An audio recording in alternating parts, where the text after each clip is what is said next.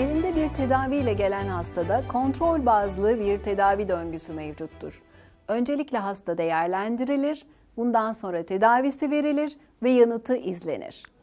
İşte bu hastada öncelikle astım kontrolünün değerlendirilmesi, astım semptomlarının değerlendirilmesi önemlidir.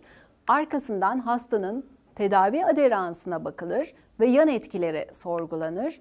En sonunda da komorbiditeleri ve risk faktörleri değerlendirilerek yeni bir tedavi verilir. Şimdi hastamızda bu değerlendirmeleri nasıl yapıyoruz görelim. Aynur Hanım hoş geldiniz. Bir ay önce gelmiştiniz. Tekrar bir ay sonra e, geldiniz verdiğimiz tarihte. Çok teşekkürler. E, bir ay önce geldiğinizde göğsünüzde daralma vardı, öksürük vardı, hışıltı hırıltı vardı. Bunlar geçti mi? E, ilaçları düzenli kullandım, rahatladım. E, mavi Peki, spreyi çok kullanmadım ama iş yapınca gerekli oldu. Ne ee, kadar gerekli oldu? Yani haftada, son haftayı düşünün. Mavi sprey ne kadar haftada gerekti? Haftada 2-3 kere kullanmak kullandım. zorunda kaldınız. Ee, haftada bir gece e, daralarak uyandığım oldu. Hala haftada bir gece uyanı, uyanıyorsunuz evet, astım evet. şikayetiyle. Evet. Gündüz de mavi spreyi kullanmak zorunda kaldığınıza göre zaman, o zaman e, iş yapınca e, şikayetiniz hala oluyor. Evet. Hmm.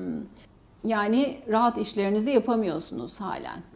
E, eskiye göre daha iyi. Ve düzenli kullanıyorsunuz değil mi ilaçlarınızı? Düzenli kullanıyorum. İğneler verdiğimiz kortizonu. Düzenli kullanıyorum. Düzenli kullandınız. Peki e, şu duruma göre aslında tam da iyi değilsiniz. Size iyi geliyor gibi olabilir ama bizim için yeterince iyi değilsiniz. Bu nedenle e, sizin mutlaka ilaçlarınızda bir artma yapmamız lazım. Ya kortizon dozunuzu iki katına çıkacağız veya sizin e, bu nefes borularınızı saran kasları sürekli geniş tutacak olan bir ilaç ekleyeceğiz. Böylece daha rahat edeceksiniz. E, aslında nefes ölçümünüzde de daralma vardı. Bu nasılmış diye aslında bir de bunu da görelim. Evet. E, sonra hangi tedaviyi yapacağız diye birlikte karar verelim. Astımın semptomatik kontrolünün değerlendirilmesi son 4 haftayı içerir. Hastanın gündüz yakınmalarının hiç olmaması veya en çok haftada bir iki kere olması kabul edilebilir. Hastanın gece hiç yakınması olmamalıdır ve hastanın en çok cebinde bulunan kurtarıcısını bir iki kere haftada kullanması kabul edilebilir. Hastanın günlük aktivite kısıtlaması bulunmamalı, rahat işlerini yapmalıdır. Eğer bu bu dört basamak açısından herhangi bir ya da iki tanesinde hastamız evet diyorsa yani herhangi bir şekilde gündüz semptomu haftada 2'den fazlaysa veya bununla birlikte yine beta 2 kullanımı varsa o zaman bu hastamız kısmi kontroldedir. Ama hastamızın bunlarla birlikte hem gece uyanması varsa veyahut da aktivite kısıtlaması da bulunuyorsa bu hastamız kontrolsüzdür. İşte böyle bir hastada bunun yanında mutlaka diğer kontrol değerlendirmeleri de yapılmalıdır. Yani atak için risk faktörleri var mıdır? Fix hava yolu açısından herhangi bir riski var mıdır? İlaçlara bağlı sistemik veya lokal bir yan etki var mıdır diye de bakılarak tedavi verilmelidir.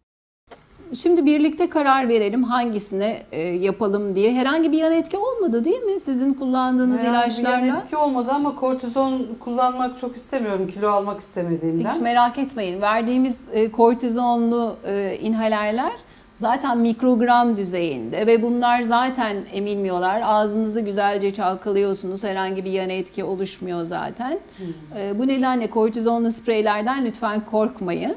Ama bu kadar korkuyorsanız sizi sürekli açık tutacak kaslarınızı bir başka grup ilaç ekleyelim. Onları verip onlarla ne kadar iyi oluyorsunuz diye bir ay sonra görelim.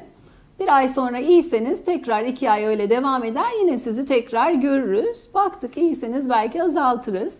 Dediğim gibi hep birlikte izleyeceğiz. Birlikte nasıl olduğunuza karar vereceğiz. Yine e, sizin e, cebinizde her zaman için kurtarıcı ilacınız, rahatlatıcı ilacınız olacak. Gerek olursa yine onu kullanabileceksiniz. Peki ne zaman kontrole gelin? Bir ay sonra sizi yine tekrar göreyim. Bir ay sonra baktık iyisiniz, hiç yakınmanız kalmamış, rahat e, işlerinizi yapıyorsunuz. O zaman artık iki ay sonra göreceğim sizi. Tamam, teşekkür ederim.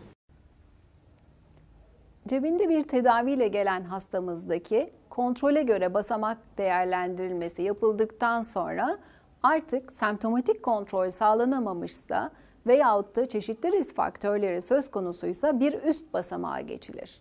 Hastamızda hangi basamağa geçileceği tablomuzda görülmektedir.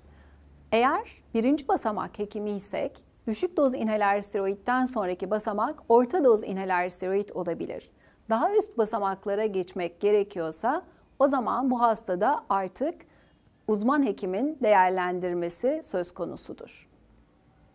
Eğer ikinci basamak hekimi isek, eğer düşük doz inhaler steroid ve uzun etkili beta 2'ye rağmen kontrol sağlanamadıysa bundan sonraki dördüncü basamak ve beşinci basamaklarda astım konusunda uzmanlaşmış bir hekimle hastayı paylaşmak daha doğru olacaktır.